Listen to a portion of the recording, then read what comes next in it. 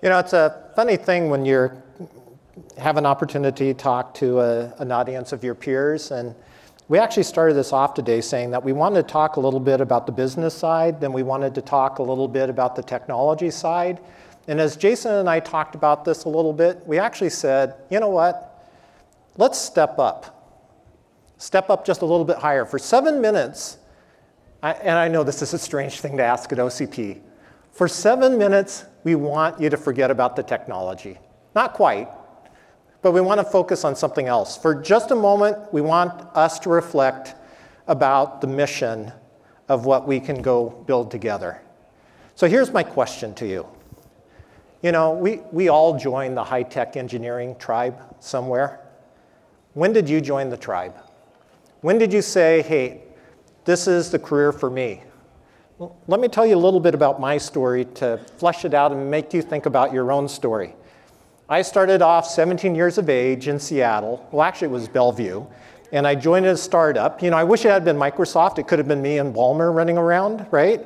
Um, and I joined an offshoot, a CDC, where we were going to go invent something sort of like this ARPANET thing and turn it into a network.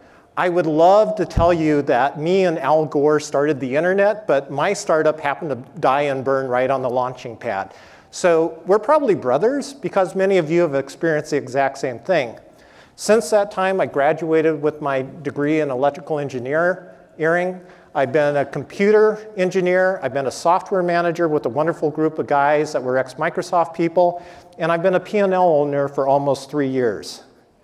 That's my story of joining the electrical engineering tribe.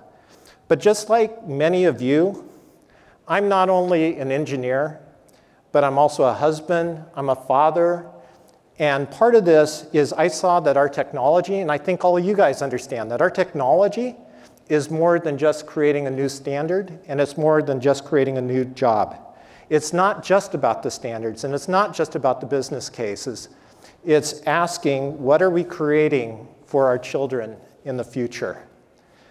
So this is a picture of my daughter in 2004. I've been blessed with four kids. And of course, I try to immortalize some of those images. 200 kilobytes right there. It's not 200 kilobytes. It's one memory, which has gone in the past that I can pull up at any time. So now I want you to fast forward 12 years with me to the summer of 2016. And as you can imagine, just like my children, our technology, what we have done in the cloud, has grown. And I want to share with you the happiest day of my life and of my daughter's life. This was her marriage. I'm here today to talk about a four megabyte image. And if you think about it, we've grown from 200 exabytes 12 years ago where I took a grainy picture of my daughter to four megabytes just last summer. So the question is, is what did 20 times the data find it? Did it, it just find us that, hey, we set a new spec? You know, for me, it found me a memory of joy, of happiness, of belonging, and we were able to pull in the faces of all her flower girl with more clarity than the shot I took of my single daughter 12 years ago. So my question to you when we start to think about data storage, which face would we want to drop? What memory would we like to forget? Because in our mind, at Seagate, what we're doing with life is striving to do just one thing. We want to figure out how to remove the delete key off your keyboard. Now, maybe you want to throw some stuff away and we'll have a special function for you. But there should be no reason that at any time in the future that we should have to throw away anything. And what does it take for us to go get there? What it takes for us to go get there is a story of and at a 50,000 foot level. And it can't be a story of war. It's a story of trying to figure out how do we draw in more resources for what do we need to do. I just want to show this chart this is where we were last quarter in terms of exabytes shipped. Flash is a wonderful substance, and it shipped about 25 exabytes. Hard disk drives is a wonderful substance, and it shipped almost 10 times the exabytes. And by the way, we're about at one-tenth of the cost. I used to be at the IBM PC company. And when I look at the old legacy architecture, that old legacy architecture was a story of war. Is like watching, watching into a British restroom where they always crazily have the whole cold separated away from the hot. And what have we done in the hyperconverged, hyperscale market is we figured out some way of kludging them together. And it's been a good kludge. But the question is, is have we really gone deep enough? At least for us on the technology side, which Jason's going to fill you in in just a second, one of the top things that we're thinking about is we've been on a technology S-curve on the SSD, and it's allowed us to drive up the temperature and the heat of that. And that's always going to increase, and that's great, but there's going to come a time of diminishing returns. So for about 30 years, we've been stuck with this HDD performance bottleneck, and we need to start asking ourselves, at what point do we stop improving the sections where we're good and we start taking care of the sections which are our poor shots. For us, our first generation, which we're happy to go talk to you over in our booth, basically allows you to double the, the uh, heat on the cold side. And that's going to allow you to deliver the quality of service that you need to be able to deliver that value proposition. So at a high level, that's what we're talking to you about. And that's what some of the top level ideas that Jason will take you through. We're going to keep the gas um, on NAND to HDDs at 10x or greater with HAMR, I'm actually hoping we drive far, far harder than that. Now there's going to be a bill up front, but it's the right bill to pay. Then we need to think about how do we start to deal with the bad shots? How do we break the performance bottlenecks that we have? And we're very excited about the first generation technology. So that and a few other key things, Jason wants to talk to you about the revolutions that we're trying to do in the hard disk drive industry. All right, thanks, Ted. Um, so excited to be on stage in front of everybody here at OCP. Uh, it's amazing to see all the collaboration, all the innovation coming together in one spot with companies and skill sets of all over the industry. And, and hopefully what you're going to get today is how every one of those skill sets is built into a disk drive and why a disk drive is such a key component to the overall storage landscape and how we want to continue to keep it relevance so that all of your businesses can continue to thrive, continue to grow, and never hit delete. Um, so with that, what we do is we start with the pain point. What we continue to look at in the market is what's happening. We're growing so fast. Data centers are popping up all around the world. The urge to get more and more data and densify the data center uh, is continuing, and it's coming to us every day with, we need to solve this problem. So with that, we look at what can we do? Uh, so two such things that we're going to talk about here at OCP, uh, the session here today, as well as other sessions that you'll see in workshops. It starts with what is the device? Density is key in storage devices, and so how do you lay out that data on the device? There are tons of software experts in this room, in this building, and with the collaboration between those software experts and our intrinsic areal density capability, we can optimize things like data flow, data warmth, data locality, data density. One of those things is a zone block device. Mixing recording types of proven technologies, which are already out in the industry, we can put both of those things together on one piece of media and allow you, the storage consumer, to deploy that technology however you want. If you want to make a dense device that optimizes for cost, you can do so. If you want to have something that can plug and play anywhere and be a completely transparent device, you can do that as well.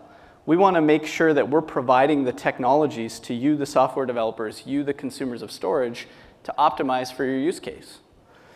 And then beyond that, in the end, it's all about growth. We never want to hit the delete key. We want to make sure that we have a technology that has a future for the next 10 years.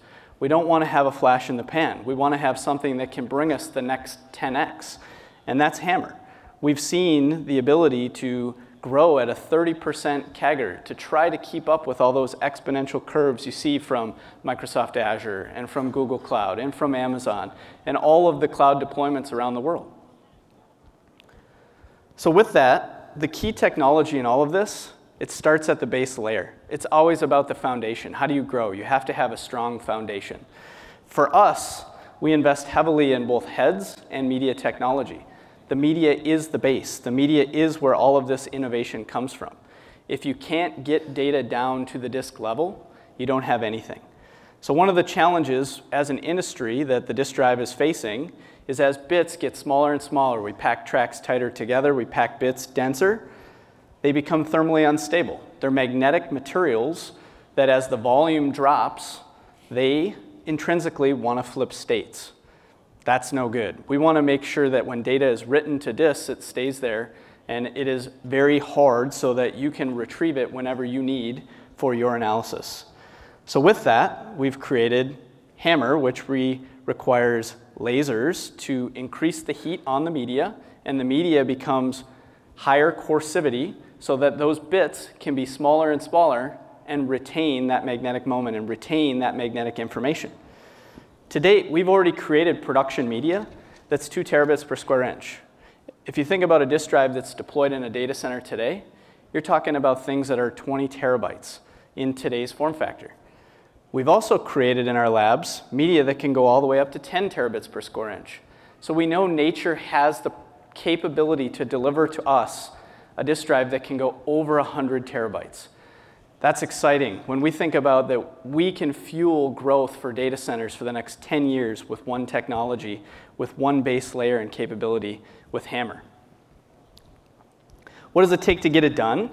So Seagate as a whole, we're looking across many different engineering facets. We have investment in precision manufacturing.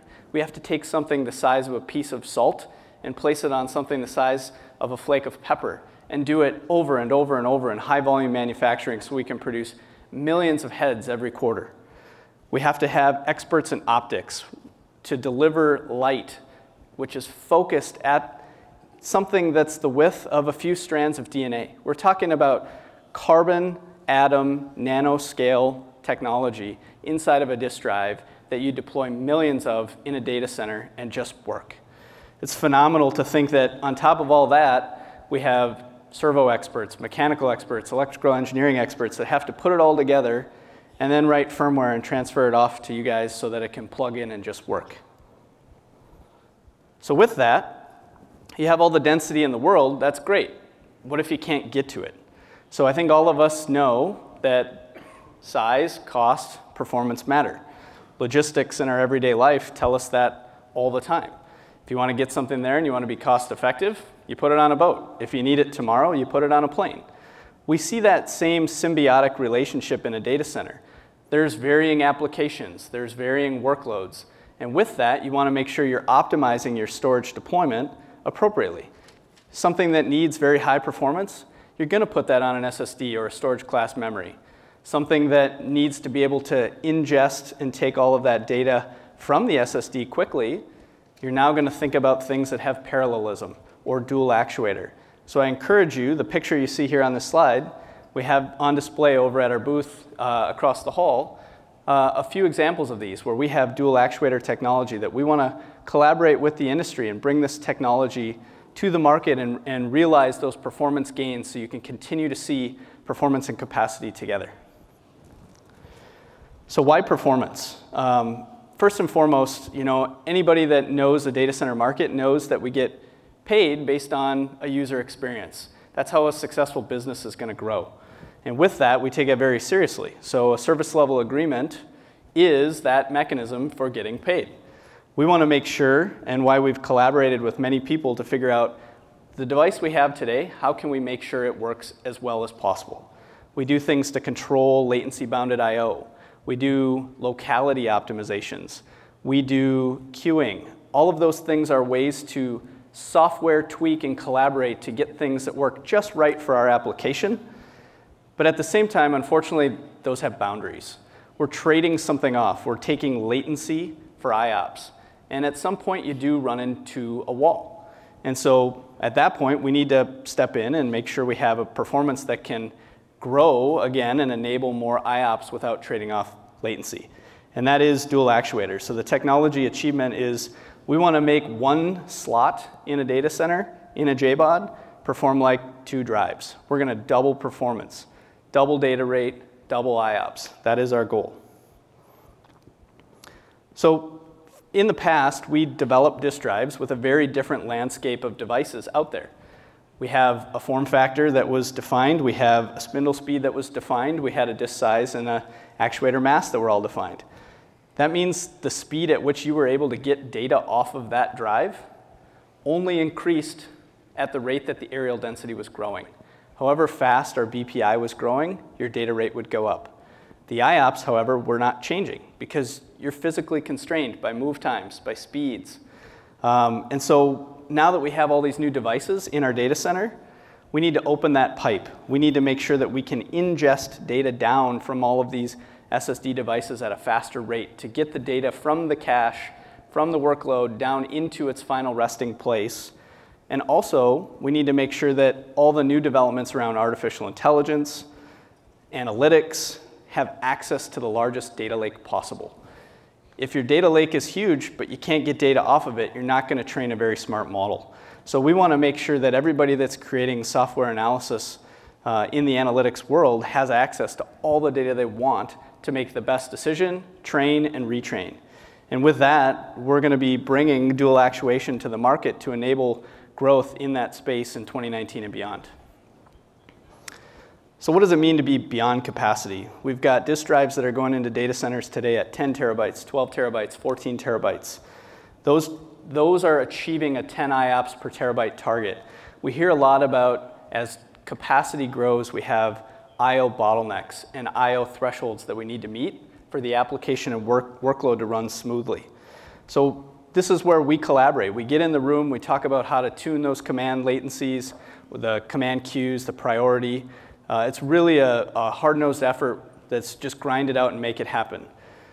Beyond that is the dual actuator. So you can see a, a rendering of what it would look like inside of a disk drive. It's essentially two actuators together inside of, in inside of a disk drive to double the performance.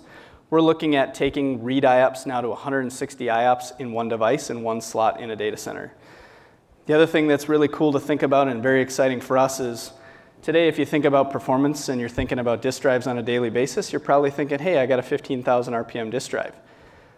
15,000 RPM disk drive maybe only hits 280 to 300 megabytes per second, and its capacity is only 900 gigabytes. We're thinking about devices now that are going to go 10, 12, 14, 16 terabytes in capacity and deliver 500 megabytes per second in that slot.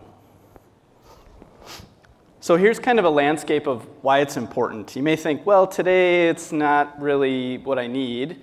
I'm still in that space where I'm optimizing latency with command queuing, priority, et cetera. Seagate's here for the long haul. We want to enable all of this scale to continue for the next 10 years, like we said with capacity. And so for that, if you think about it, if we just had a single actuator device and you work in an IOPS per terabyte world where you're trying to meet your customer service level agreement, quickly we start to run into some areas where 20 terabytes and beyond, where that IOPS per terabyte threshold becomes very challenged.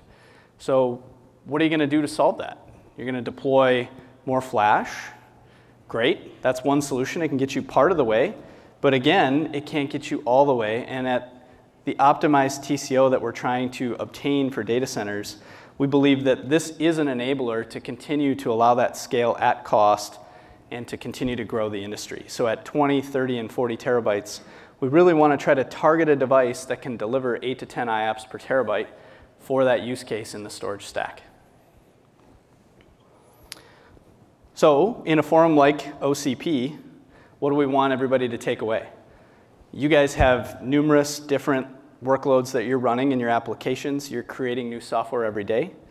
You have a set of reliability metrics that you need to achieve your cost and user experience. And you have a total cost of ownership model that you're trying to drive to enable your business. We are going to bring HAMR technology, dual, tech, dual actuator technology, and zone block device technology we want to get in the room. We want to talk about what's the right way to use these. We want to make sure that everybody understands what they can and can't do and make sure that they're optimized for future uses and future workloads that you're going to go create. And what does that mean we have to do and what does success look like? It means that we've got chassis that are optimized for density. When we're talking about 30 and 40 terabyte disk drives, we need to make sure that everything inside of that chassis is well understood and optimized for deployment. We want to make sure that the collaboration is transparent. We know how a drive is going to be ran through performance benchmarking, file I.O. snapchats, uh, reference architectures. And then last but not least, we want to make sure we can be fast. We want to be nimble. We want to get things in your hand so that you can try them and say, yes, this makes sense. Uh, so we can quickly move on from ideas and learn and grow and get the product that we want to maximize that R&D effort for both companies uh, when we collaborate on projects. So in closing, the bottom line here, if Ted, you'd like to come back up and join me on stage here. Uh, so three, three vectors, really. You know, it's capacity growth is all about 30% CAGR and delivering HAMR technology to the industry. Performance growth, which is all about enabling the users to get access to that data, doubling the IOPS, doubling the data rate, um, making sure that everybody can achieve the service level agreements.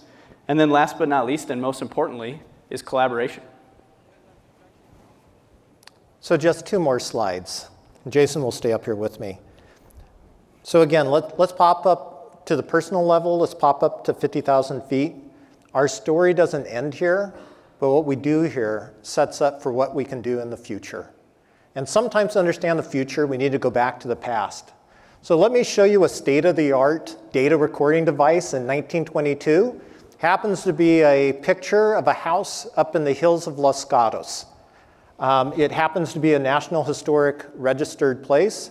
It was built by a famous author at the time, Ruth Comfort Mitchell, and her Senator State husband, Sanborn Young. It also happens to be the money pit that I call home. She happened to have a play that went through the nation that was set inside of Chinatown, and she wanted her house to look like the play that she was showing to the rest of America. And so when I go through this place, it's amazing. Wires that lead to nowhere, rooms that are added on, caves in the back of, of the property to store, I think, food or something like that. The only thing we have to remember her and her husband by is boxes of political correspondence at the University of Santa Barbara. But I want to know the house that they lived in. I'm hoping, and I think many of you hope for your children, that it's no longer a static history. I hope in the future that my kids, because I'm hoping they're going to take over the house after everything I poured into it, they're going to be able to spin up a virtual image of myself and they're going to say, hey, grandpa, why did you put this tree in here? Grandpa, why did you put this wall over here? And I can say, I did that with your uncle.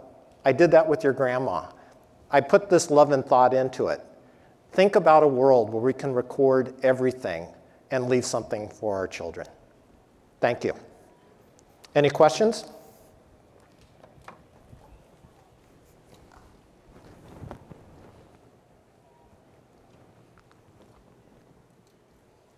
So thank you for, very much for putting all this together. I had a question about your dual actuator technology.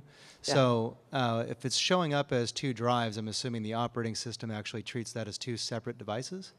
Yeah, one of the subtle points on the slide is that we're presenting the device as a SAS device uh, leveraging technology that's already there with LUNs to the interface. Okay, so two LUNs. So when we're, when we're looking at the performance metrics, we're dividing that in two, basically, right? Yeah, by LUN. Okay, Yep, perfect. Yep. Thank you. That was the quickest way for us to integrate into a commonly existing architecture, right? Exactly right. Any other questions? You have a question. Um, so we work in the data center, and we have varying temperature. How sensitive are your new drives to hot heat?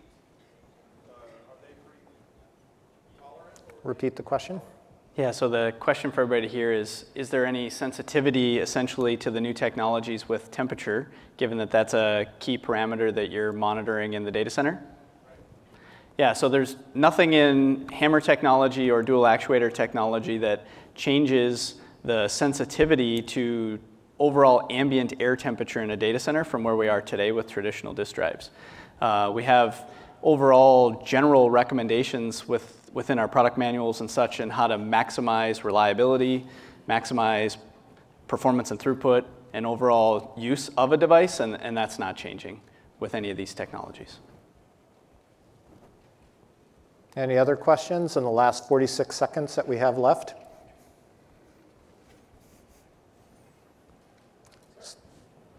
The question is just, I, I was expecting from when we started that you were gonna start talking about a blended S- uh, SSD slash HDD hybrid. That's where I thought you were going. And we've been there before, and what's your guys' thoughts on that today, or do you guys really think those should be disaggregated? So I'm going to pick up my, my, hmm, I'm very passionate about this, and I only got 16 seconds left. The secret is in the software-defined storage layer, and we can do that at the data center level best. I really struggle if it was ever right at the device level. My struggle is, is I'm not clear that the uh, data center guys have quite wringed all the performance out of it. But that's personally where I believe it is. And with that, I think we're going to have the hook pulled on us. Yep, thank you. Thank you.